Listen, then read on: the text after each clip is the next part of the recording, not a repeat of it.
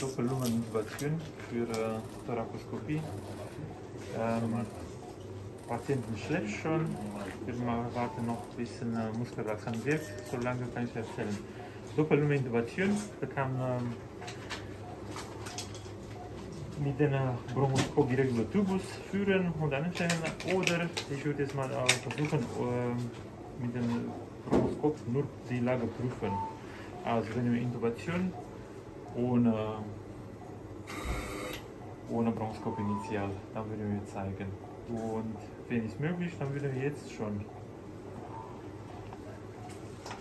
So, dann äh, für die Intubation wie immer, klassische Intubation, Mund öffnen, Laryngoskop.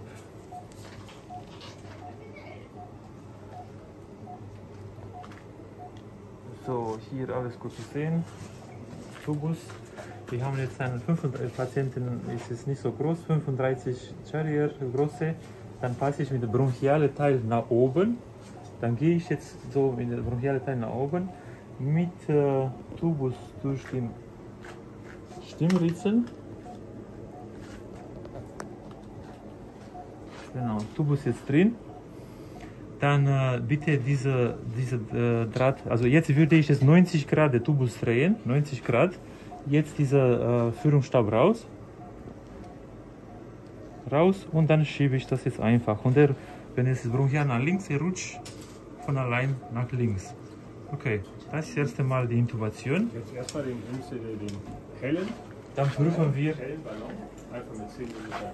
prüfen wir, genau, also dann Tracheale sind es auch äh, verpflichtet. Bronchial ist blau, Tracheal ist äh, weiß.